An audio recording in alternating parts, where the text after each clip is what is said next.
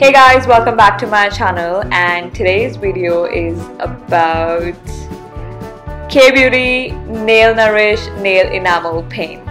And as you know, Kay Beauty nail paints are all about pastels. So I've got five beautiful pastel shades from their range and I'm gonna show you a real closer look of how these nail paints look followed by swatches. I'm gonna wear it one by one on my nails.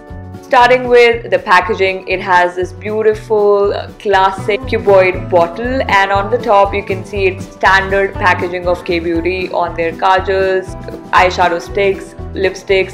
You could see uh, this white design. It's standard on all their products. The name of the shade is on the left of the bottle and the color that you see from the bottle is exactly the same that will uh, come as a payout on your nails after 2 to 3 coats.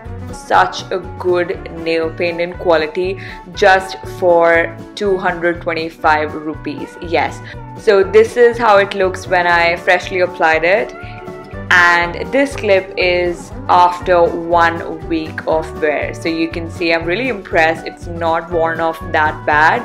When on discount you can also get it for as low as 190 rupees. So the kind of quality that you get for the price that you're paying is commendable